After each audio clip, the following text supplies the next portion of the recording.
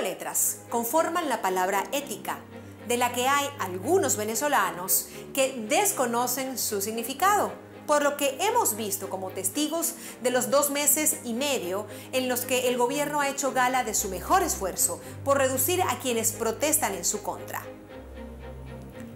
Si nos remitimos al diccionario de la lengua española, este precisa que la ética es conjunto de normas morales que rigen la conducta de la persona en cualquier ámbito de la vida.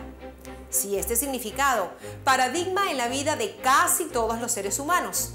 casi todos, que no todos, lo contextualizamos en el entorno militar, el de la Fuerza Armada Nacional Bolivariana, pudiéramos suponer que es un asunto medular en la formación de los oficiales, pero también de la tropa profesional y alistada, pues se supone que su comportamiento y acción como parte de esa institución del Estado está apegado a la moral. Se trataría entonces del conjunto de normas y valores que guiarían el comportamiento de los efectivos militares, aquellos que tienen la responsabilidad de resguardar la integridad física de los ciudadanos y defender la soberanía del Estado. Ahora bien, causar destrozos a la propiedad privada,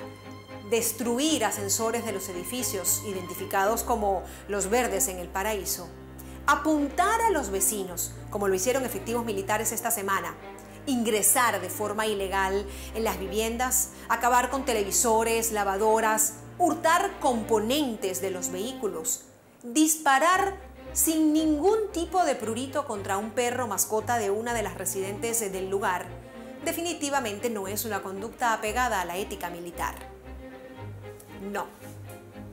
La ética con la cual han procedido tanto los efectivos militares como los policiales, bajo la orden del Poder Ejecutivo con el argumento de restablecer el orden ante las protestas que iniciaron en marzo, es una ética canalla. No es otra sino canalla por ser despreciable y de malos procederes, por cuanto está alejada de lo que debe ser la función y el rol que tienen que cumplir militares y policías en sociedad. Y es precisamente con esta ética canalla con la que insisten en defender la bandera de la paz y con la que, sin ninguna duda, avanzan en su propósito de instalar una Asamblea Nacional Constituyente como mecanismo para borrar el Estado tal y como está concebido y garantizarse así su permanencia en el poder, pasando por encima, una vez más, como ha venido haciendo hasta ahora, de la voluntad general.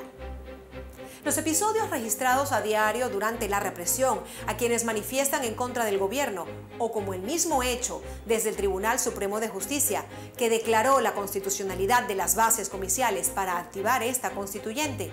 tal y como está planteada, son formas indiscutibles de violencia. Y esta, la violencia, en este caso, es inversamente proporcional a la capacidad de ejercicio de poder que tiene en este momento el gobierno del presidente Maduro.